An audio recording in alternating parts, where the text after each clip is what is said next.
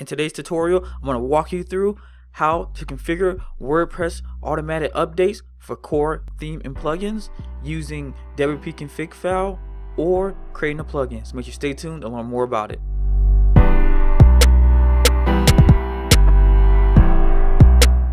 Hey guys, so on this side right here we have the WP config file. On this side right here we have a little plugin that I created earlier um, that I'm going to walk you through. First we're going to start with the WP config file and then we're going to move on to a plugin next.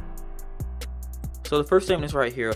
You have the automatic update um, updated disabled. If you put true right here, um, then it's right here will be disabled. If you remove it, then it's the same thing as being false. Or you can put false if you want to go through that route. And this right here would disable every single type of automatic update you can possibly think of, starting from themes, plugins, um, cores, mine, uh, basic major updates, minor updates, or any of that stuff. So the second one is that let's say that you don't want to disable everything. You just want to you just want to go through and you want to just if you want to just update some things. And so these are some things you can update. You want to just update if you want to go through and update every single thing, the development minor and major updates of just this is just for core updates. If you want to, if this have a development server and you want to always keep it updated, you want to do minors and major updates, then you just put true. Now, if you want to go through and you want to dis disable all, you can disable just core updates, you'll go through and you'll put false. If you want to go through and do just as I wrote it right here for you, you want to go through and do just the minor updates, which is WordPress already has it set up for this right here automatically on most different sites besides development sites. Development sites are major and and minor but you, you can do that. And this is pretty pretty much the, single most thing you really need to know for majority of things you you need to go through and do. Um, you can go through and block all updates or go through and change out what updates you want to do based on um, the automatic updates. Let's head over here to um, the plugin. So let's go switch this off over here. So for the plugin a little bit more here. You have a little bit more control through filters and you can do a little bit more. This is the basic plugin. I'm going to put this down in the description as well so you guys can have this so you can play around with it so you're just not um, you know you can have something to build off of and you can have all this. So the basic things for this right here you're really going to want to go through and do. As you guys can see right here if, if you want to disable um, automatic automatic updates for everything as we said before um, you go through and just uncomment this line out and you disable all all updates no matter what they are plugins themes or and then we said before. So if you go through it i kind of already commented everything in there so you can be able to read this pretty well. So even if you don't have php skills you can just put this in and put in a plugin activate it and it'll work for you.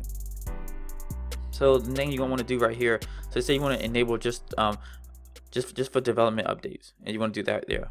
You can go through auto date you do return true. If you don't want to do this you you can if you say you just want to turn this part off you can do return false and just change this into false right here. If you want to enable minor updates, you can go through and use this filter right here and just do return true. If you want to disable minor updates, you can go through and use this filter and just do underscore underscore um, return underscore false. If you want to enable all major updates, then go through and do the same thing right here and just go through return underscore true or return underscore false if you want to disable. For plugin updates, let's say that you don't want any plugins to update and you don't care about any of all this stuff right here. You just comment you just comment all these items out. So just go through and comment these items out for you. And then once you do that right there um so if you comment all these out right here and then you so when you comment all these out here and you say you just want plugins to update what you will go through and do is just add this add this filter right here auto update plugin return right here you can turn you can automatically update it or you can make it false. And by going through and just you can make it false right there. And none of your plugins will update right there and that you have in there. Um, and then let's say that you want to do it true you just do the opposite of this right here which would be true. And then all your plugins will update. Let's say that you um, want to also go through and you want to want to make sure none of your themes update. Let's say you're not using a custom theme um, or using a theme that might just update on a regular basis. Let's say you want to do that right there. So then you go through and you can just, if you want to automate update, you have that right there. If you don't want to go through that, you can go through and push this right here and make this and turn this into false. Oh, make sure you don't put capitalization in there.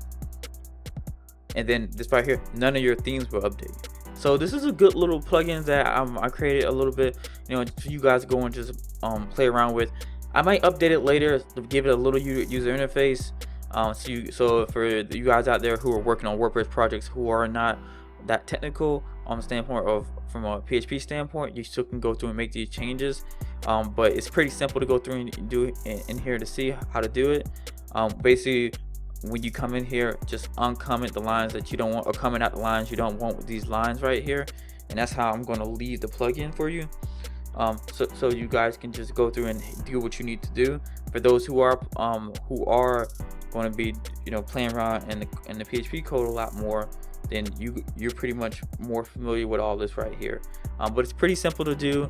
Um, let me know if you have any questions on this right here too as well.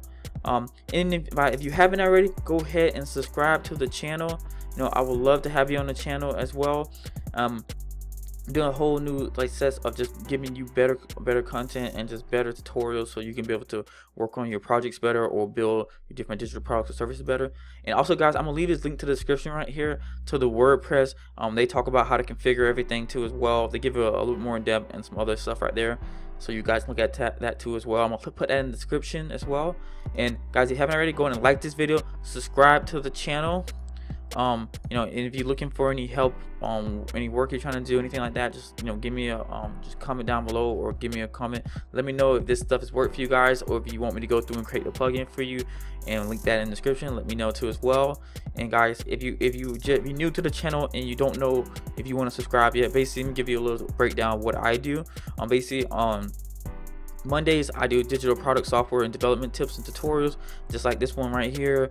Or I'll walk you through how to build a certain digital product, something like that. Basically, just stuff that helps with tips or building digital products, or to help with something on um, that you might experience with WordPress or any other program that I know from a software development standpoint um, and building those out. And it doesn't have to just be software. Um, I did a tutorial too as well on how to create an ebook, which is really good and people really like that.